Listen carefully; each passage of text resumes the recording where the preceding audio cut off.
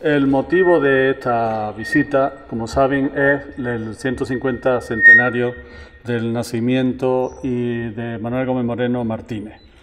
me ha gustado una frase que recogí hace tiempo cuando se inaugura el Museo Provincial de Granada en el año 1839, creo que todos saben lo que es la amortización de Mendizábal, cómo se expropian los conventos, entonces las obras de arte pasan a, reunirse, muchos de ellos en la Cartuja, para hacer un futuro museo. Ese museo se inaugura con un discurso de José Castro Orozco, que era fiscal, fue rector de la Universidad de Granada, poeta, escritor, y, fue en parte espíritu de la fundación del Museo de Bellas Artes. En ese discurso, el final del mismo dice, el espíritu regenerador del siglo iba a erigir un trofeo a la gloria de las artes.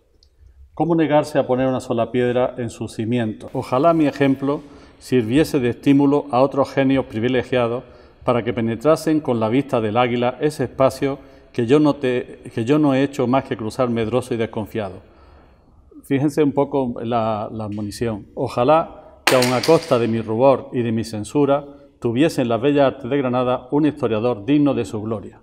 Parece que está ya barruntando lo que iba a ser el Gómez Moreno González primero y Martínez después. Bueno, ¿cuáles son los orígenes de la familia Gómez Moreno? Seré muy breve. Es un origen muy remoto. Eh, la primera noticia, digamos, de su actividad en Granada es una mm, comerciante de lona, fueron los dueños de la fábrica que había en, la Casa de la Lona y allí pues aparecen en Londres buscando información para hacer las velas para los barcos de la Armada. la mm, derrota de Trafalgar fue un motivo de la crisis impresionante para la familia. Allí fueron detenidos por espionaje, después pasaron al Albaicín. Resulta de, esta cuestión, en la mediados de siglo la familia estaba arruinada y el abuelo, Carlos, eh, pone una imprenta y reparación de libros en la, en y ahí, eh, de esa familia de Gómez Moreno eh, Puchol, nace el pintor, Gómez Moreno González. Gómez Moreno González es una persona que Javier Moya, investigador del instituto, ha hecho su perfil perfectamente en una tesis doctoral, y ha publicado dos libros. una persona muy pusilánime, muy trabajadora, eh, con una energía especial, pero muy crítico consigo mismo. Fue fundamentalmente pintor, pero enseguida se interesa por lo que es el patrimonio granadino y dentro de esa, digamos, actividad está, por un lado, su pintura, profesor de la Escuela de Arte y de otras academias, algunas de ellas gratis para los muchachos y gente que no tenía fondos para aprender a, dibujar. También eh, fue eh, el formador y el primer conservador director de los museos provinciales de Granada, el arqueológico el de Bellas Artes, el primer catalogador de los mismos, eh, fue eh, miembro de la Comisión de Monumentos, eh, publicó libros y artículos sobre el patrimonio, sobre arqueología, Medina Elvira, es decir, fue el cierta vida junto con algunos otros que también que en el centro artístico, etcétera, pues fueron luchando por esta cuestión del patrimonio, fue uno de los primeros interesados en hacer de la ciencia, de la arqueología, de la historia, etcétera, hacer ciencia, no solamente divulgación. Eh, en esa época, si han leído ustedes libros de final del siglo XIX y principio del se escribía muy bien, muy bien literariamente, pero luego el contenido, el fondo, eh, digamos, científico era bastante más endeble. Bueno, pues eh, de ese señor y de su mujer, Dolores, nace Manuel Gómez Moreno Martínez.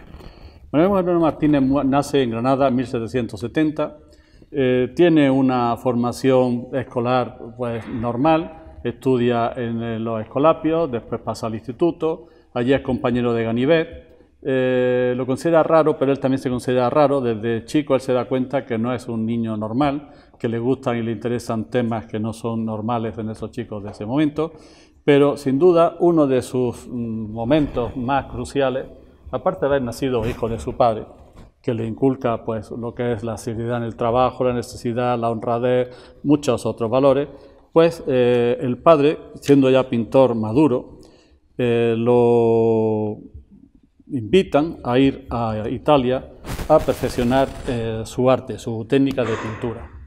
Con 44 años, 45, casado, con cuatro hijos y con la mujer embarazada, y en esas circunstancias le dicen que se va a ir dos años a Roma.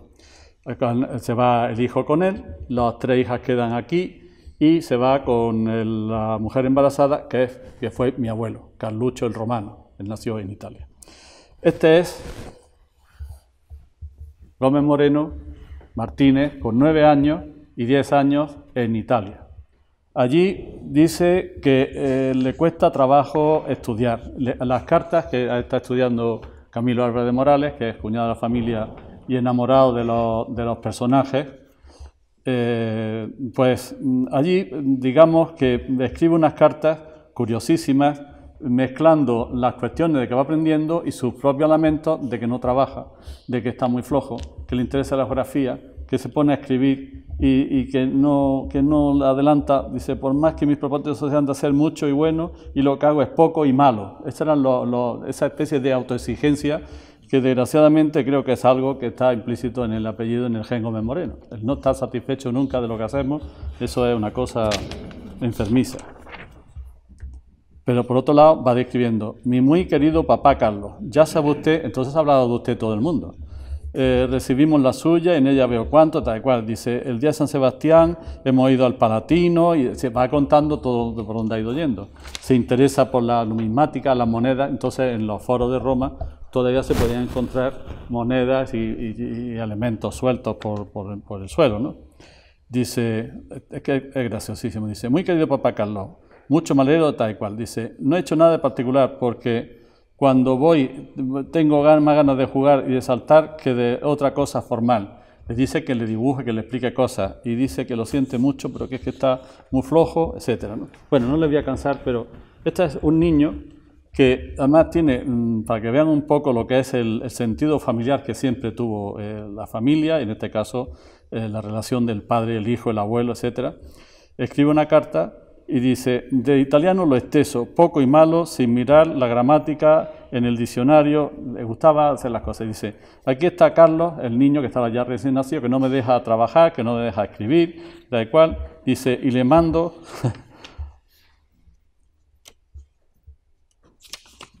los garabatos que me ha hecho. Se escribe, pone los garabatos, pero para que vean lo que es el espíritu de, de familia, dice, Manuel y Carlos.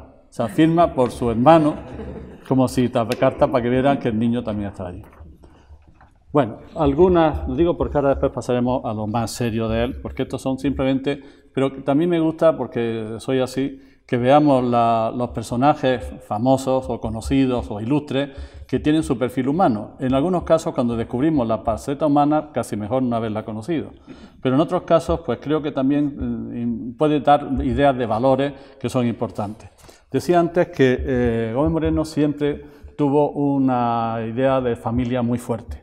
La correspondencia es amplísima y, las fotos y todo, esa, esa especie de espíritu de cohesión familiar que en parte hemos heredado familias que nos gusta estar siempre reunidos en torno a una mesa de camilla. En mi casa siempre ha habido mesa de camilla, en la de mis padres, siete que éramos más los padres mesa de camilla, y en las cármenes familiares pues siempre había mesas de camilla, que eso hace familia. No quiero decir que lo otro no, pero que es una forma. Aquí está eh, Gómez Moreno Martínez con su padre, su mujer, su esposa está por aquí, en fin, esa idea de, además, como era entonces, eso no es exclusivo de la familia Gómez Moreno, entonces que se quedaba una soltera, que se quedaba una viuda, que una muchacha que venía de no sé, allí se iba cogiendo toda la familia, se iba convirtiendo en un enclave de reunión.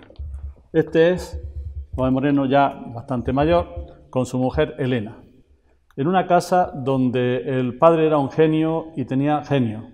La hija era no tan genial, pero tenía el mismo genio, valiendo mucho y cada una con unos caracteres muy fuertes. La madre, aparte de santa, era, eh, primero quería mucho a su marido, que usa mucho a su familia, era inteligente, era, sabía llevar y manejarlo. Hay una carta muy graciosa que le dice Manuel a, a Elena cuando estaban casados y estaba por los catálogos monumentales, pues pienso que tengo un mal genio, pero a partir de ahora te prometo que voy a corregirme, que voy a ser más, suave, más dulce, intentaré.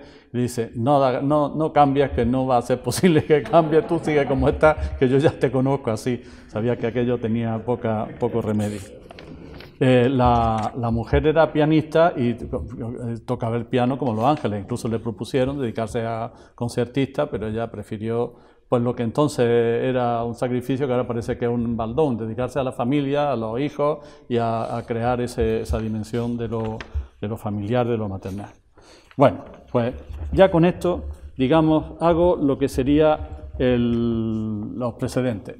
Eh, vuelve a Granada después del viaje a, Italia, a, Roma, ahí estudia. Eh, el nivel del bachiller no, es no hacía prever que fuera una persona tan brillante, pero luego enseguida empieza con el padre en el centro artístico a acompañarlo en las visitas a los monumentos. Él prepara ya esas visitas, prepara los textos, colabora con él en la memoria que hace de Medina Elvira y luego otra participación fundamental, que estamos hablando que tenía entonces 20, 21 años, recién terminada la carrera, empieza con su padre a hacer la Guía de Granada. La Guía de Granada de Gómez Moreno es la primera guía, digamos, científica que hace de Granada, el primer libro de historia del de, patrimonio granadino con sus errores, porque los tiene, sobre todo algunas atribuciones de los sepulcros reales, algunas cosas de este tipo, pero mm, ese estudio, ese catálogo, que realmente es el catálogo monumental de Granada en ese tiempo, después de haberse paseado por todos los archivos de Granada, eso también genéticamente, en parte, yo no tengo los mismos méritos, pero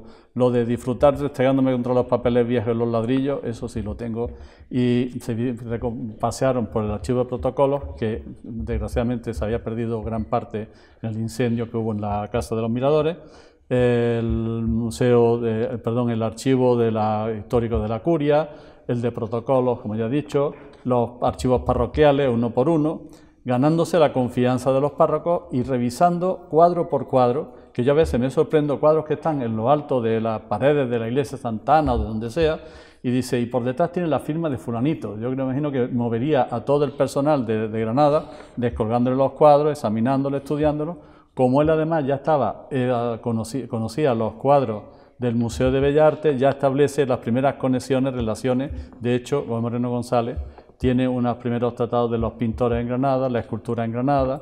Eh, Gómez Martínez hizo un estudio de la carpintería, que lo publicó eh, Mari Carmen López Pertiñez.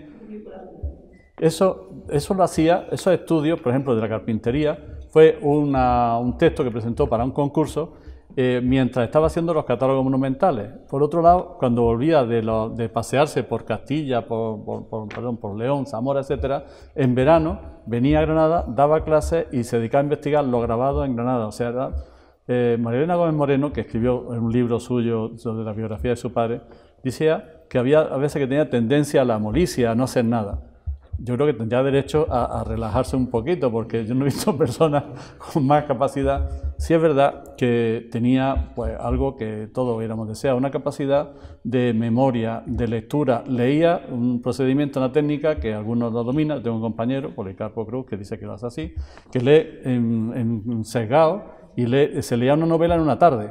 Claro, una, persona con memoria, con capacidad de relación, porque hay personas, yo he conocido personas con mucha memoria, pero no son capaces de gestionar esa memoria. Y otros que yo en mi caso no tengo mucha memoria, pasa que a base de machacar, pues consigo recordar las cosas, ¿no? Pero que unir memoria, capacidad, trabajo, inteligencia, pues veía una cosa, una pieza o una obra en el año 1920 y después de 60 años decía, esto es igual que una cosa que vi yo en no sé dónde, y era capaz, capaz de relacionar. A mí me pasa algunas veces que veo una cosa y digo, esto se parece a la otra, vez digo, esto no se parece en nada. O sea, esa, esa capacidad se puede tener de una persona o no. Bueno, vamos a, a ir a la sala, de, a la antesala donde hemos ido pasando el despacho para hablar un poco de su método de trabajo y su inicio, ese salto que tuvo que dar de Granada a Madrid y estaba dispuesto a irse a América donde fuera. Así como el padre lo sacaban de su terruño y no se sentía a gusto, el, hijo mm, salió de Granada con poca gusto por los granadinos y por los granadinos. O sea, le gustaba el arte, pero hay comentarios suyos sobre lo que era Granada, sobre todo la estructura política y eso, eh, bastante ácida respecto a ella. Bueno, les decía que en Granada, eh, Gómez Moreno Martínez, después de la guía, pues quiere opositar, quiere dedicarse a trabajar en la historia del arte, que es lo que le gustaba a él, y prepara una oposición de la Escuela de Arte y Oficio. El padre da unas cartas de recomendación que se encuentre con Riaño, con una serie de personas que venían de Granada, pero que podían introducirlo en Madrid. Y al llegar a Madrid, con esa idea de lo provinciano, de cómo está vienen de provincia, ¿no? esa idea de, de, ser menos, pero enseguida empieza a moverse y siendo todavía poco, digamos, ducho en las relaciones sociales, que nunca le gustaron, por per se, pues se dan cuenta que tiene capacidad y entonces le encargan un proyecto que estaba iniciando desde entonces, que es el Catálogo Monumental de España. Hasta ese momento eran conscientes de que en España había un patrimonio riquísimo, tenían la idea de que hay que inventariar y catalogar todo lo que es mucho que hay en España. Llega a Madrid, le hacen el primer contrato y el primer contrato es que haga el Catálogo Monumental de Ávila. Él no había, se había movido un poco, pero no había viajado mucho, pero no le arredraba nada y entonces empieza a pasearse por los campos de Castilla, por Ávila, etc. Y ahí inicia, digamos, su, su tarea de descubrirse al mundo, al mundo de la cultura española, las capacidades que tenía. Va Ávila, se presenta con una carta de recomendación al Cabildo, a, las autoridades provinciales, e inicia su campaña de, investigación. Su campaña de investigación era coger una mula, una maleta, una mula, un burro, un tren, un tranvía andando como fuera e irse recorriendo, estamos hablando de la España de 1900, recorriendo pueblo por pueblo, zonas donde allí iba de vez en cuando algún humano, digamos de fuera, pero en general era todo muy atoso. Llevaba. Llevaba una máquina de fotos, que la máquina de fotos ahora muchas veces con los móviles vamos resueltos, otras no con la cámara reflex en condiciones, pero el trípode es un trípode de madera, la máquina de fotos es la que están viendo, con unas placas de vidrio que se llevaban en unas cajas que eran, o sea, el aparataje de, de, la, de, la, de los reportajes era, como están viendo, bastante aparatoso. Luego llevaba sus papeles para ir anotando, sus lápices para ir dibujando, y ahí va anotando todo lo que va encontrando. Lo... Toma, He traído algunos dibujillos, así que tenía un poco más ya hecha la fotocopia, para que vean un poco que eh, si el padre era pintor, el hijo también se manejaba eh, en el dibujo. De hecho, él quiso ser arquitecto en un determinado momento porque le motivaba la, arquitectura. Esto es, eh, esto es de La Rioja, pero me sirve un poco él, cuando iba paseando, iba tomando nota de todo, midiéndolo todo, haciendo dibujos, señalando las cosas que le parecían interesantes. Fuera castillo, fuera iglesia, fuera fortaleza, él iba con una letra menuda, a veces complicada de, interpretar, pero de todas maneras mm, hacía fotos en aquello que era imprescindible. Los arcos dibujados perfectamente, esto les puede sonar más los que son de la zona de Granada. Este es el retablo que tenía la iglesia de Moclín con el Cristo del Paño. La iglesia de Moclín y toda la iglesia de la zona de los montes la quemaron en la guerra civil, desgraciadamente, y se perdió un patrimonio riquísimo que tenía esa iglesia. Bueno, pues aquí está anotado las imágenes, las figuras, y en las partes bajas los centímetros, los milímetros, las medidas de todo. con 80 años, lo cuenta Gonzalo Menéndez Pidal, que era hijo de Ramón Menéndez Pidal, que con 80 años, estando en un pueblo de las afueras, creo que era de Madrid, no me acuerdo muy bien dónde era, se lo ve, está hablando con él, de pronto se despista y lo ve en lo alto del retablo, que había trepado con 80 años por, por el retablo. Y total, que baja, coge una, una pieza, la mira, y dice, esto es madera de, no sé si era madera de tilo, no sé cuánto. En ese tiempo el que trabajaba la madera de tilo era fulanito de tal, lugar, esto debe ser de fulanito de tal. Y decía Gonzalo Menéndez Pidal, Gómez Moreno lo había visto todo, lo había medido todo, lo había mirado todo y fotografiado todo, dice, incluso lo había y olido todo, casi lo había gustado, porque una vez hablando de una piedra neolítica, dice, esto es de cuarcita, porque la cuarcita cuando la lame tiene una cosa dulce. Era una, cosa especial. Sin embargo, hay una anécdota de este tipo familiar. Las últimas veces que vino por Granada, cuando venía por Granada le temían como una vara verde por los arranques que tenía. En el patronato del alambre decía que viene el moreno, sacaban los machos, porque además, por otro lado, sabían que muchas veces tenía razón en los argumentos que daba. Y era además una, eso, las explosiones eran terribles. Y total, que fue con, era cuando Gallego Urín estaba montando el Museo de la Capilla Real. Y habían desmontado los cuadros que estaban en los retablos, en los armarios de retablos de reliquias, armarios relicarios, y habían montado una mesa, eso me lo ha comentado mi padrino Manolo Rodríguez, que lo contaba su, su madre había montado una mesa, otra mesa más chica, una silla y estaba en lo alto de la silla con ochenta y tantos años que tenía que medir unas cosas. Llegó su, sobrina nieta, que era Conchica eh, Rodríguez, y le dice, Manolillo, Manolillo. En esa familia todos tenían motes. Entonces, don Manuel para ellos era Manolillo. Manolillo, bájate de ahí. Que, no, que estoy aquí midiendo. Que te bajes de ahí inmediatamente que te vas a matar. Que no, que, te bajes de ahí. y se bajó. O sea, con todo que tenía, la tía joven te dio cuenta que tenía razón para verse matar. Bueno. Otro de las guías de Granada tiene unos dibujos. Había las fotos entonces eran caras. Entonces hay dibujos, grabadillos. Ellos lo hacían y ponen la reproducción tenga la mitad del tamaño. ¿eh?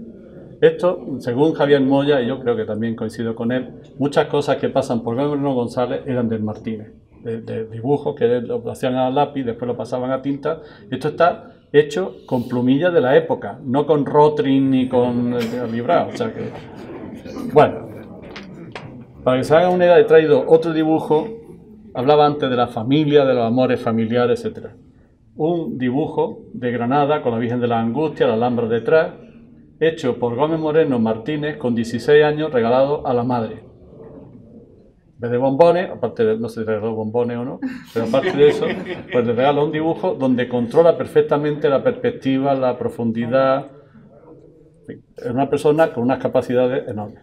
Bueno, sigo un poco. El, el primer catálogo lo hace, eh, como digo, en, Ávila, eh, cuando va paseando por los, páramos y por toda la zona de Ávila, pues en los días de buen tiempo iba y sacaba las fotos, estudiaba los monumentos. ¿Qué estaba lloviendo? Montaba su laboratorio donde se hospedaba, en el hostal o la posada donde estaba, y ahí se dedicaba a mm, revelar la fotografía. O sea que llevaba también el equipo de revelado de fotografía. En algunos sitios decía, he visto un paisaje precioso, en otros me ha sorprendido una tormenta, he tenido que bajar andando con la maleta, con no sé cuánto.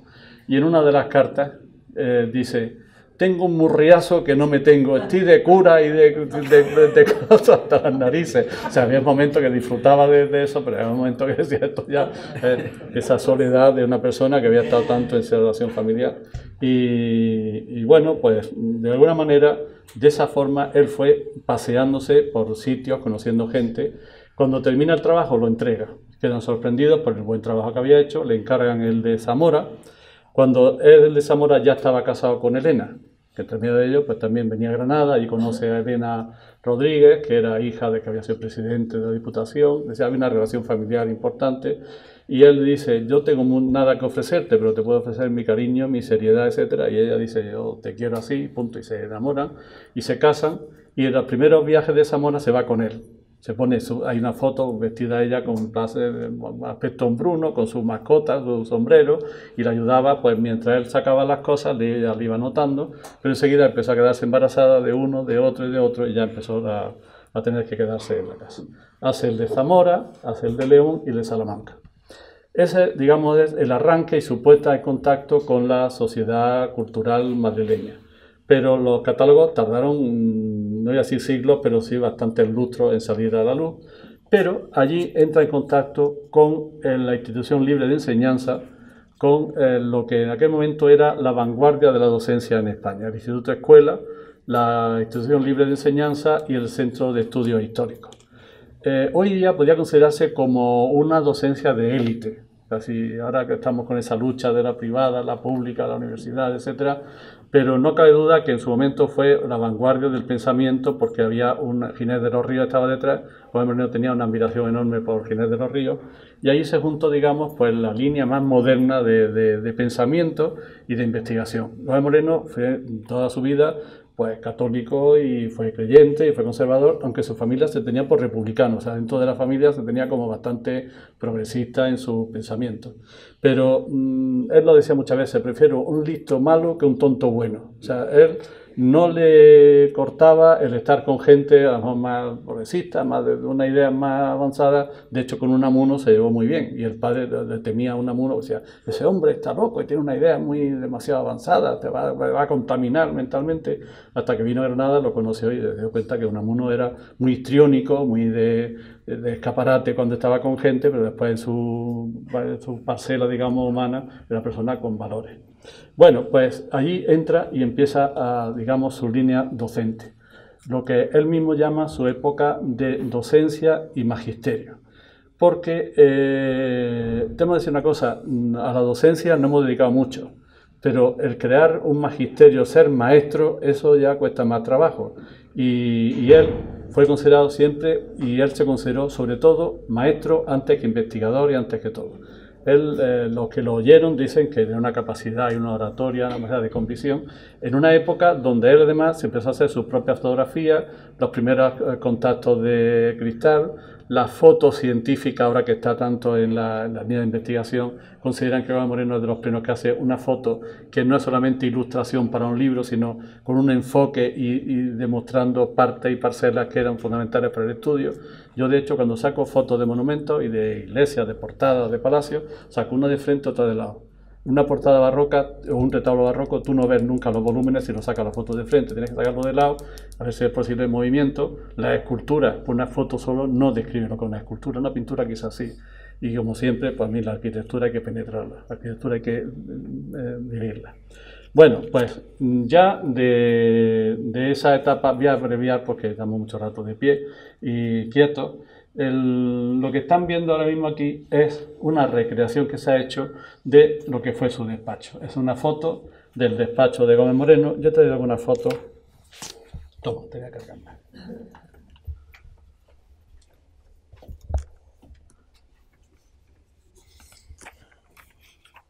Esta es la mesa que tenía Gómez Moreno, una librería que tenía inglesa, su butaca, que yo disfruté cuando estaba haciendo la tesina, que me iba a Madrid a ver los, libros antiguos, el rasero antiguo de brasas, de aspa, lo típico, y, digamos, rodeado. Ahora mismo esa soledad a mí me resulta un poquito extraña, porque yo estoy acostumbrado a ver el despacho así. Libros por el suelo, libros por todos lados, cuadros, mm, mejillas de cerámica, objetos de hachas prehistóricas de todo tipo en esta casa que yo desgraciadamente tuve la experiencia de verla desmontar mm, cuadro a cuadro, mesa a mesa, libro a libro, hasta quedarse el suelo limpio, cuando a la hija última que quedó en Madrid la obligaron a desalojar el piso. Pero bueno, esto, digamos, es el aspecto de un investigador que mm, voy a resumir y después ya pasaremos a ver lo que es el instituto. Él eh, es, por un lado, eh, fue profesionalmente catedrático de arqueología árabe. Le crearon esa cátedra específicamente para él por sus conocimientos del mundo islámico, por su libro que fue el más trascendente y que hoy, eh, vamos, que recientemente se ha preparado y se va a realizar una jornada de recuperación un poco de lo que fue la iglesia mozárabe. En la, Escuela de, de, Estudios Árabes, su actual directora, María Ángeles Utrero, quiere hacer una jornada en el mes de mayo para mm, poner al día un poco lo que todavía permanece de esa, de esa investigación de Juan Moreno, sobre todo en el aspecto de lo medieval. Bueno, pues de alguna manera, en ese momento eh, que está ya en la docencia, en la investigación, eh, como catedrático de, de, de los estudios islámicos en España, también inicia una tarea fundamental en la historia del arte. En cierta medida, la arqueología moderna no excavadora, que algunos lo han criticado diciendo que Moreno no excavó nunca, entonces no es un verdadero arqueólogo. Y algunos dicen que eso no tiene nada que ver, tenemos que ver en el contexto en que se está forjando cada mm, especialización, cada profesión. Como historiador del arte, los que nos dedicamos a la historia del arte, conocemos que es el primer gran historiador del arte en España no publicó libro gordo, digamos, completo y concreto de, suyo, solamente la iglesia eh, mozárabe. Sí tiene después en una colección ya clásica, el Ari Hispaniae, un tomo dedicado al arte califal, que después amplió y completó uno de sus principales discípulos, que fue eh, Torres Balbás. Fue arquitecto conservador de Alhambra, como la mayoría lo saben. Eh, se crió, digamos, profesionalmente con él en esos viajes que hacían en verano. Había una especie de máster de, viajando por el centro de, y el norte de España. Y aparece una, una carta que dice, viene fulanito y viene menganito. Y viene Torres, que es persona que saldrá adelante. Dice, no estoy de acuerdo con su idea, pero vale mucho y saldrá para adelante. O sea, ya el calidad efectivamente las personas con capacidad y que iban a tener una salida brillante. luego tiene otros artículos y, por ejemplo, la historia del arte, aparte de tener muchos artículos sobre Diego de Siloé, por ejemplo, y otros personajes, tiene un librito que es La Águila del Renacimiento Español, que es una joya de bibliográfica, porque hace una historia del arte de personajes concretos de artistas, Tomé Ordóñez, Pedro Machuca, etcétera, que eh, mezcla lo humano, lo histórico, lo artístico, eh, conceptos suyos, criterios. Por ejemplo, tiene una frase que a mí me gusta especialmente que dice: el arte para respirar en grande tiene que ser gastando dinero en grande. O sea, cómo es consciente que en el pasado se ha abusado de la espalda, de, lógicamente, de los súbditos para hacer grandes obras de arte que nos han quedado. Quizás podemos dolernos de la miseria. Yo veo el castillo de la Calahorra y saben la historia de lo que fue el castillo de la Calahorra, los, moriscos y el, señor de la Calahorra con la masa dando garrotazos. De hecho, el que le estaba construyendo el aljibe era tan fiera el, conde que se vino para el marqués se vino para Granada y lo mandó que se lo llevaran encadenado y, lo, y se llevaron allí diciendo tú tienes que trabajar aquí por narices, eran casi esclavos del, marqués. Bien, pues de esa manera, eh, digamos, fue arqueólogo, historiador del arte, eh, más que filólogo, estudió algo que nadie se atrevía a meterle mano, que eran las inscripciones iberas y las visigodas. De hecho, estamos hablando de los años 20, cuando él empieza, creo recordar, a investigar esa epigrafía extraña de los iberos, y llegó a la conclusión de que puede ser un idioma con un origen parecido o común con el euskera. Eh, se da cuenta que es un idioma silábico, no alfabético, y ahí queda la cosa. Y siguen sin saber, o sea, lo, se ha avanzado un poquito, se ha recopilado más textos, pero donde él lo dejó, hoy día siguen los, filólogos considerando que fue el primer gran paso que se dio en esa interpretación. La epigrafía visigoda, igual, una serie de plaquitas que aparecían con inscripciones visigodas, que tampoco un idioma que se ha podido averiguar. Tú puedes saber cómo suena, pero puedes no saber lo que significa. Yo leo el alemán, y no sé lo que quiere decir, aunque sea para hablarlo. ¿no? Pues esa es la, dificultad del ibero. Fue también eh, interesado en la crónica de España, la crónica de, Nando del Pulgar y de otros cronistas. Eh, también, fruto de sus inquietudes y de su, digamos, contacto, estuvo en alguna apertura, por ejemplo, del monasterio de la Hueles, cuando salieron los sepulcros reales, él estaba allí. Y hay una anécdota muy graciosa en ese sentido, porque abriendo, no me acuerdo si era un, el de la cerda, algunos de los personajes, eh, recibe una carta al cabo del tiempo diciendo, eh, hablando como si el difunto hablara, mi don Manuel Gómez Moreno, un gusto tuve en que me visitara aquel día, me estoy inventando un poco la idea, pero el resultado es el mismo, investigar allí, pero resulta que dejó usted olvidada unas lentes y me han venido muy bien porque ya con la avanzada que tengo no veo bien y por eso pues te agradezco. Se me olvidaron las gafas dentro de la tumba y cuando llegaron después otros investigadores encontraron la gafa de don Manuel. Yo encontré la carta en, el, en la casa de, de, Madrid, ¿no? de, de, la hija de Gómez Moreno. Eh, más cosas, pues fue una autoridad hasta el sentido de que cuando había algo que no sabían, que no entendían de la Edad Media, decía, eso, don Manuel, preguntar a don Manuel, que él seguramente lo va, lo va a saber, y era, digamos, una persona que algunos le temían, pero otros, los que, digamos, cuando iban a, consultarle alguna cosa, él sondeaba el pelaje de la persona. Yo recuerdo un homenaje que le hicieron con motivo del centenario de un programa de televisión española, que hablaba a Cárate, Gaya Nuño y Chueca Goitia.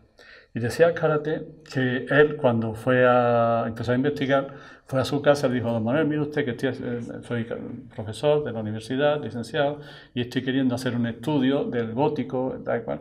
Dice, espera un momento, se fue, se perdió por el pasillo, volvió con un taco así de fichas, de cosas todas originales suyas, dijo, toma usted, a ver si le puede sacar partido a esto. Y le dice el locutor, eso no lo hace nadie en España en la investigación, dice, sí, lo hacía Gómez Moreno. O sea, la desprendido, cuando él veía que la persona tenía valor, él iba cogiendo y iba dando y donó parte de su colección de monedas, la fue donando.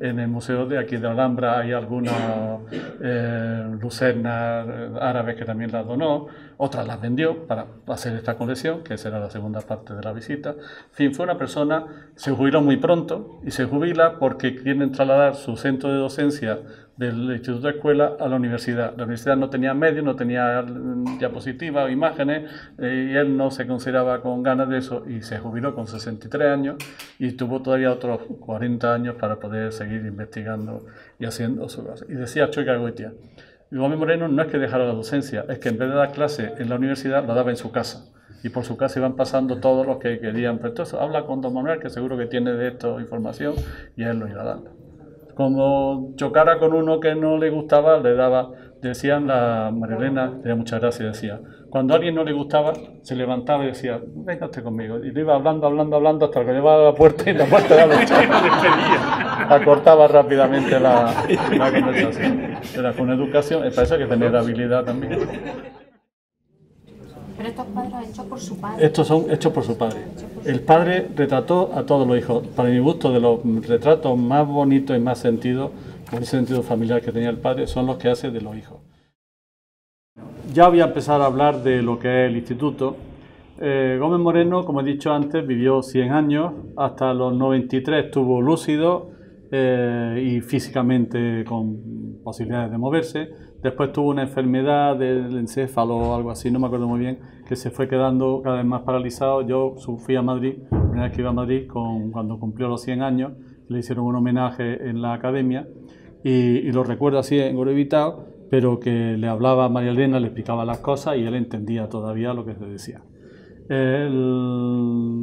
cuando ya él vio que llegaba a esa edad, he hablado poco de la familia. Gómez Moreno empezó, he dicho antes, empezó a tener hijos Tuvo uno, Manolillo, también se llamaba Manuel, por lo visto era un superdotado, pero murió muy joven. Después otro, Carlos, también murió muy joven. Eh, Teresa también murió, o sea, en la época donde la muerte de los infantiles era bastante frecuente. Y, pero tuvo Marilena, que es la hija mayor que, que quedó, Natividad y Carmen. Y otro, Eugenio, que murió en la, era arquitecto y murió en la guerra civil. Entonces quedan tres hijas. Eh, eh, Marilena, Natividad y Carmen. Cuando solteras las tres, bueno, pues estas tres señoras solteras, ya de una cierta edad, pensaron con el padre que todo lo que él había reunido en vida, porque aparte de sus investigaciones, había recogido pues, obras de arte, era una especie de manía de comprar todo, recogerlo todo, y cuando no lo recogía él se lo ofrecía. Decía la madre muchas veces, la, la mujer, que por la casa había procesión de chamarileros y de vendedores de anticuarios buscando Don Manuel para venderle algo. Eh, entonces ellas pensaron que era una pena que todo lo que había reunido el padre se dispersara, se perdiera. Y pensaron en hacer pues, una, una fundación, donarlo, cederlo en algún sitio donde pudieran recogerlo sobre todo para que los investigadores, las investigaciones que él había iniciado, todos esos documentos, todo lo que él había reunido, pues pudiera continuarse y seguir sirviendo para que la continuidad de la investigación. Eh, pensaban que en Madrid no tenía sentido por las instituciones tan potentes que hay y pensaron en Granada. Estamos hablando del año 70, 71, 72, final de la época de Franco, la crisis del petróleo, las instituciones no tenían la fuerza que podían tener ahora se lo ofrecieron al ayuntamiento, el ayuntamiento dijo que no tenía posibilidad de acogerlo a esa colección, se lo ofrecieron a la Diputación tampoco, y entonces fue Miguel Rodríguez Acosta y la Fundación Rodríguez Acosta la que dijo que se hacía cargo de, recoger la, obra y todo lo que suponía la colección de Gómez Moreno y que buscaría de alguna manera pues mm, alguien, alguna otra institución que pusiera los fondos necesarios para hacer realidad esa iniciativa.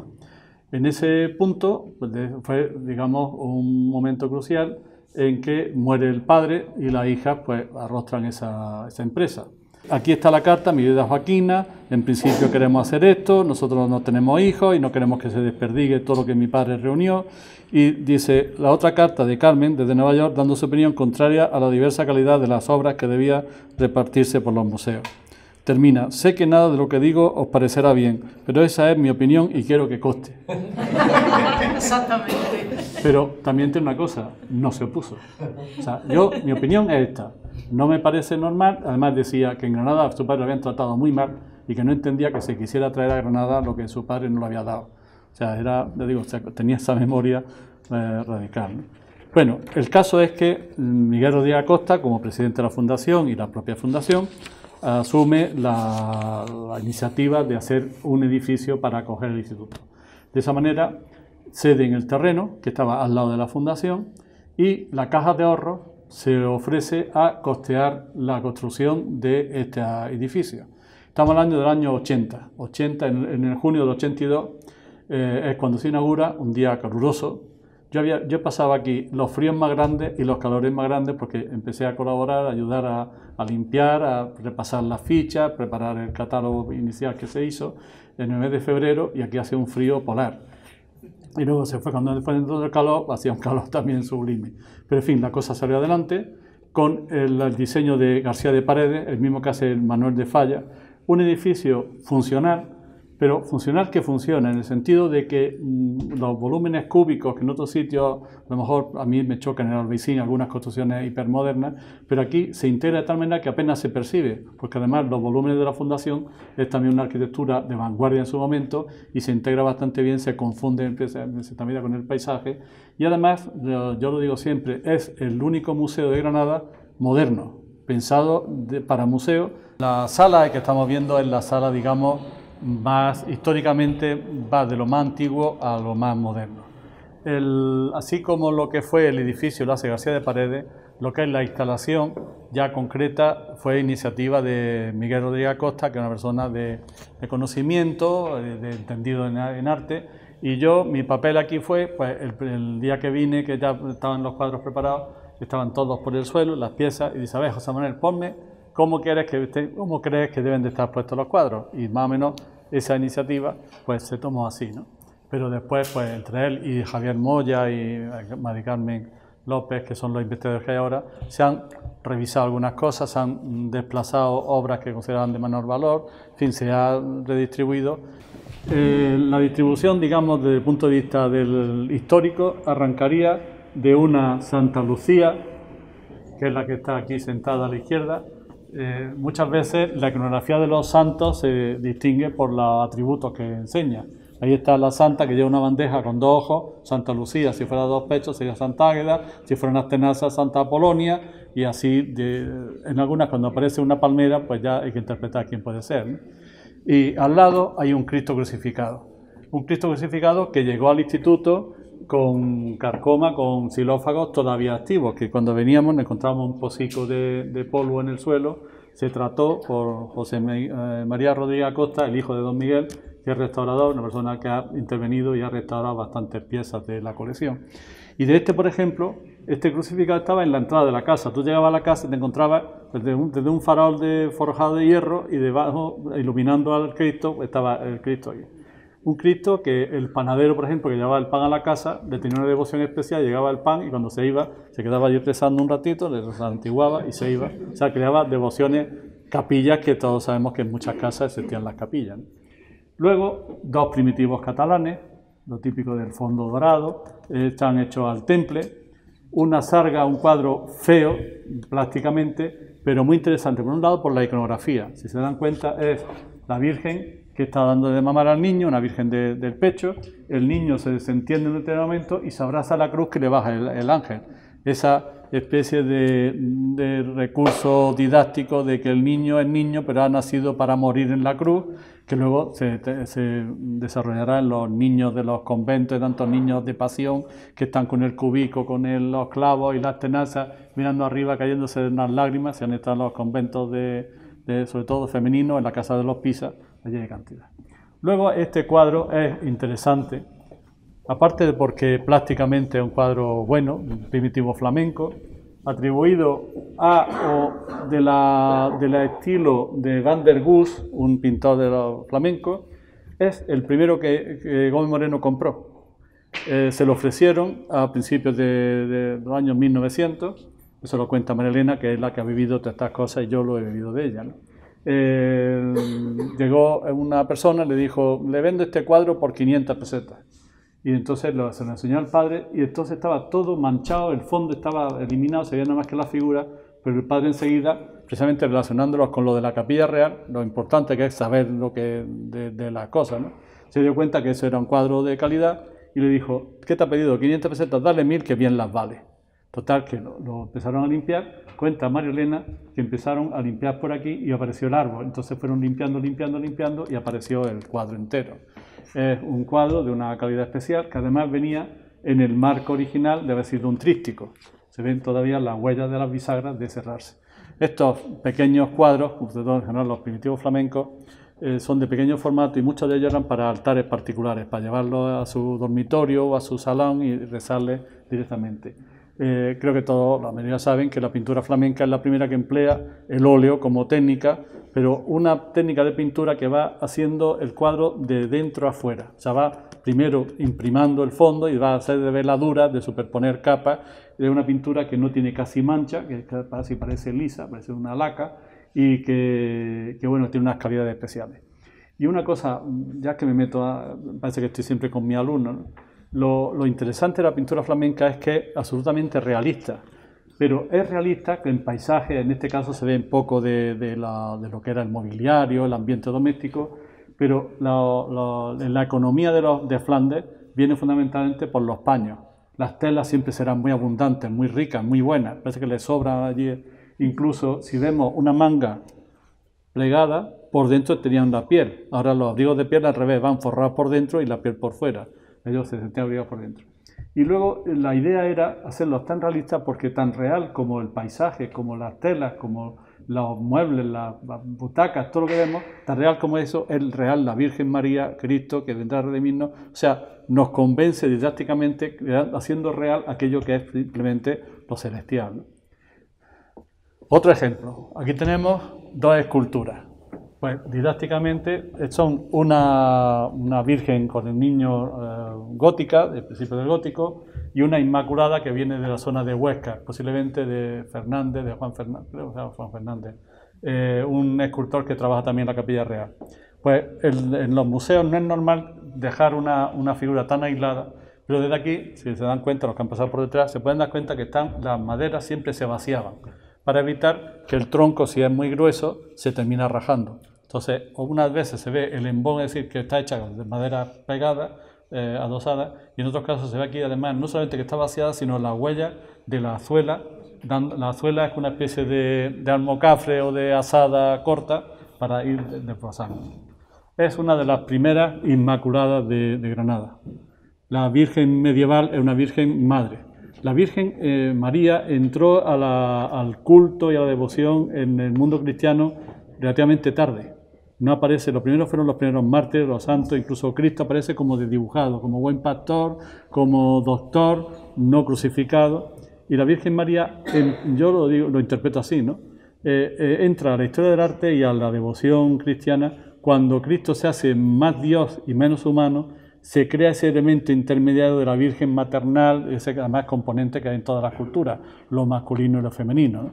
Este está más esbozado, todavía tiene reminiscencias góticas con esa aureola de dorada, con algunos resaltes, pero es mucho más esbozado, más de pincelada más larga. Sin embargo, este de influencia flamenca es más preciso, más de detalle, se ve incluso en la, punta de la corona taladrándole la, la ceja, las lágrimas que parecen verdaderamente cayendo por los carrillos de Cristo, la pincelada, los flamencos utilizaban muchas veces incluso lo que llaman pinceles de un pelo, con un solo pelo iban dibujando uno por uno sobre ya esa última capa. Aquí tenemos otro ejemplo distinto, en este caso de arte popular. Cerámica de Fajalauza y vidrios de Castril. Los vidrios de Castril era una producción en vidrio de un, lo que llaman quiero y no puedo, ¿no? Pero en aquel momento pues tenía su, su público y sus compradores, que después cuando vino los vídeos de la granja de, la, de San Ildefonso, se, se cargaron la, la, industria de algo que era más... Eh, de muchas casas fueron desapareciendo, se fueron eliminando, y sin embargo, pues los que ahora tienen, por ejemplo Carlos Sánchez, el arquitecto de una colección magnífica, pues eso vale mucho. Más o menos, fíjense cómo la, la pintura de esa época, época medieval, San José queda más al fondo y poco a poco va ganando, digamos, importancia. De hecho, no lo sé muy bien estadísticamente, pero la iglesia de San José de Granada es uno de los primeros templos dedicados a San José eh, en España, pues ya en la época del nacimiento, digamos así. Escultura de pequeño tamaño. Le llama la atención la dificultad que era armonizar escultura, pequeño formato, cerámica, etcétera. De estas hay dos piezas, para mí las más interesantes, un San Antonio de Alonso Cano y un barro de la Virgen con el Niño de San Juanito de Risueño. Alonso Cano, ya lo conocen, el artista fundamental de la Escuela del Barroco granadino, hablando de caracteres también con un carácter complicado. El Cristo está desnudo, pero le han puesto su perizoma, su paño de pureza, que tiene una bisagrita para protegerlo y, darle otro sentido. Hay en España otro Cristo que está en el Escorial de mármol de Benvenuto Cellini. Bien, yo a mi alumno siempre le ponía el Cristo desnudo y después le ponía, cuando va al Escorial, una vez tiene un paño más rico, otro más pobre, otro más, con un trapajo en general un poco digno. Y lo ves desnudo y aunque sea, puede parecer algo de impudicia, pero resulta estéticamente de una belleza, lo que es la anatomía de Cristo magnífica. Y estas tres piezas que son, mm, junto con otras que veremos después, de lo más mm, bello y digno de la colección una, la niña, la Virgen María, que detiene eh, la costura para rezar, que es apañada al mismo tiempo que es, eh, digamos, cristiana y buena niña. El San Diego de Alcalá, de Alonso Cano, de estas esculturas que decía antes, hechas de pequeño formato para un particular. Esta eh, fue comprada a una viuda que le faltaba el dinero y decía María Elena, con la pena que ella lo despidió fue la alegría que nosotros lo recibimos en la casa. La, cabeza es bellísima, la mirada baja, concentrada, pero es una escultura que incluso está hecha para, para ser vista en redondo. Hay otras dos que sugiero que la comparen, las relaciones. El del Museo de Bellas Artes, que es de Pedro de Mene y Alonso Cano, en formato grande, lógicamente todo mucho más exagerado, porque esto es para verlo desde esta altura, de esta distancia, y aquel es para verlo en lo alto de los pilares torales. Y en la otra es el San Diego que hay de Pedro de Mena en San Antón digamos, tres en Granada, y, una iconografía de un santo que se hace muy cercano, muy a lo humano. Y este otro cuadro, ya le digo, es muy interesante porque si se acercan con cuidado, ahora pueden verlo despacio, está perfecto. Y es por lo que he dicho antes, está hecho en cobre, en una lámina de cobre, en lámina de cobre que no tiene ese desgaste propio de las telas. Otras cosas, cuando vean en un museo una pintura, todos los cuadros están forrados. El forrado quiere decir que están quitados del marco, se coloca un lienzo nuevo y se forran y se planchan como se plancha un buen mantel, una buena sábana. Y así de esa manera el estiramiento que, realiza el bastidor no daña, porque una sábana que tenga 300 años, eso se desbarata. Es muy interesante. Julián Gallego, que fue un investigador un buen historiador del arte, venía, se alojaba aquí en la fundación y todos los años, en verano, paseaba por aquí, se venía, veía el cuadro. Es raro el cuadro, pero es muy bonito. Y es raro porque no se sabe de ninguna otra pintura de Rivera que estuviera pintada en cobre. Pero también la técnica, la pincelada, la forma es muy de Rivera, del pintor españolero que está en Nápoles, pero le encargaban cantidad de obras en España. Y aquí tenemos un niño Jesús, de los muchos que se hacen también eh, para la devociones del barroco, se hacían desnuditos y luego se colocaban sus trajes, sus pulseritas, sortijas, etc. Lo hay de madera y este es de peltre. El peltre es una aleación de zinc y estaño que con lo que hace muchas veces, o se hacían antiguamente, cacharros de café, platos, etcétera, cosas de, de cocina y permite vaciar para hacerlos más en serio. De todas maneras, luego tiene el retoque de la pincelada, etcétera, tiene la huella de tener la potencia. Cerámica griega eh, la hidria, que están viendo en el centro, es, eh, la hidria servía para templar el agua. Es como una especie de ánfora, pero tiene dos a los lados y una en el centro para templar el agua. La, ánfora y la crátera, crátera hay una pequeñita, un cántaro y el kili, son en general vasos relacionados con el culto, con los funerarios, con arte funerario y lo normal era que los vasos, una vez que se ha celebrado la liturgia del, funeral, se rompían. Igual que la vida se rompe con la muerte, el vaso se rompía y se formaba parte de ese tesoro de, para la otra vida. Este es un cuadro de Alonso Cano, que además está estudiado, catalogado. Era un cuadro que estaba muy estropeado, también lo restauró José María Rodríguez Acosta. Y es una, un episodio real, histórico, de un fraile de Soriano en, en Italia que decía que era dominico y decía que él le hubiera gustado conocer a su santo fundador, Santo Domingo de Guzmán. Y entonces en un determinado momento aparece la Virgen con Santa Catalina, etcétera, y unos ángeles que le llevan el verdadero retrato. Dentro de la tipología de la pintura y la iconografía sería la serie que se llama un cuadro dentro del cuadro.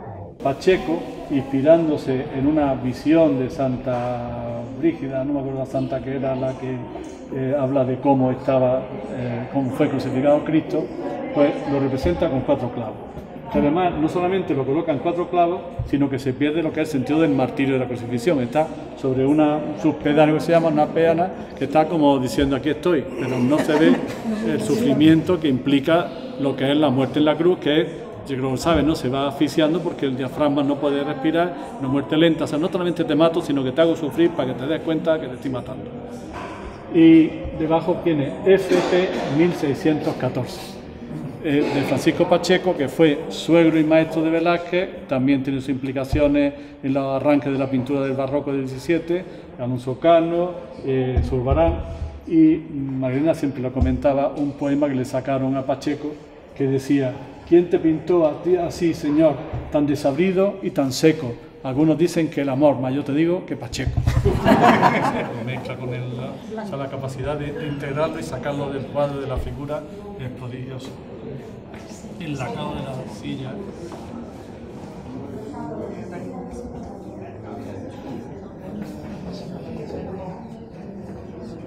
Esta María Elena. María Elena era la, lista de la casa la que no tenía ningún complejo, ah, yo llegué allí, di una conferencia magnífica, todo el mundo me aplaudió, estupendo, cuánto. ella nunca llegaba tarde, llegaba la última, pero decía, me acuerdo un día que comentaban que iban a un viaje y bajó ella la última y el padre estaba, pero venga, Elena, dice, ¿qué pasa? ¿Por qué ponía así si estáis todos aquí todavía? Dice, porque te estamos esperando. Hablaba que no, una mm, claridad, con una cantidad de datos de su viaje de sus contactos con Unamuno, con Pío Baroja, con Machado, si era más listo, si era más taciturno. O sea, estar con ella en una conversación era darte un repaso de todo. Y esta era Nati, que para mí es la más entrañable. Se compró un 600 y la Nati con el 600 por la Punta de la Mona venían, iban de Madrid y el padre le llamaban el bote. Y venían y el padre le encantaba. Ahora llévame, cuando ya era mayor, a merendar a tal sitio, a Chinchón, lo que sea, y, era, digamos, la más humana y más en el mundo, más doméstica, y, yo le tengo un cariño especial. Y estas son las fotos de cuando los propios de la, de la fundación fueron a, hacer el inventario último. Claro, aquí está todo. Si ven las fotos, es que la casa, la casa era un piso, grande pero un piso y estaba forrado arriba abajo de chismes, de cuadros, de todo, y se trajeron las partes fundamentales de la fundación cuando estaban todavía en vida, pero guardaron algo, y tú estabas en la casa y la casa se llena de chismes, de cuadros, de esculturas. Era una cosa especial.